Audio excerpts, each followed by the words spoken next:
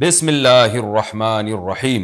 दस मुहर्रम को कौन कौन से नबी को निजात मिली? इन्होंने पूछा है कि जी, क्या इन सब बातों की कोई असल है कि आदम सलाम को आसमानों से दस मुहर्रम को उतारा गया? हज़रत नूह सलाम की किश्ती इसी दिन ठिकाने लगी।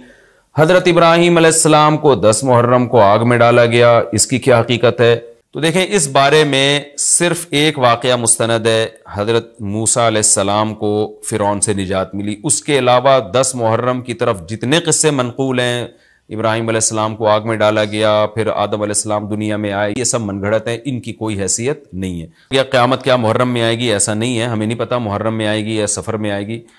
सूर ताहा में अल्लाह ने साफ़ तौर पर बता दिया, अकाद उफ़ी हाल तुरज़ा कुल्लु नफसिम बिमा तसा मैं क़्यामत के दिन को छुपा दूँगा। अल्लाह ने किसी को नहीं बताया किस दिन आएगी। आएगी तो अचानक आएगी। अचानक वही चीज़ होती है जिसकी डेट का हमें इल्म नहीं होता। लाताती कुम अल्ला बगता। कुरान कहते अचानक आएगी। तो अचानक का मतलब उसकी डेट अल्लाह ने, उसका साल, उसका महीना अल्लाह ने हमें नहीं बताया। तभी तो अचानक आएगी वो।